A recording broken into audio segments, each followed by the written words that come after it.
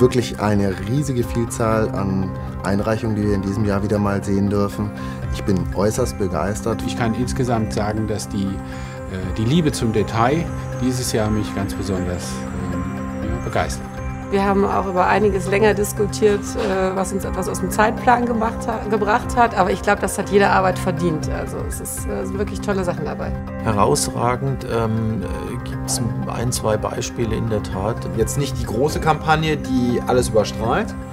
Ähm, aber es gibt hier und da dann doch die Perle, ähm, die es da zu entdecken gibt, auf jeden Fall. Allerdings fällt auf, dieses Jahr muss man sagen, dass, man, dass wir im, im Bereich Dialog eine extrem starke Kategorie haben, noch stärker als in den vergangenen Jahren. Das hat richtig Spaß gemacht, die Kategorie zu bewerten und da sind wirklich tolle Sachen dabei.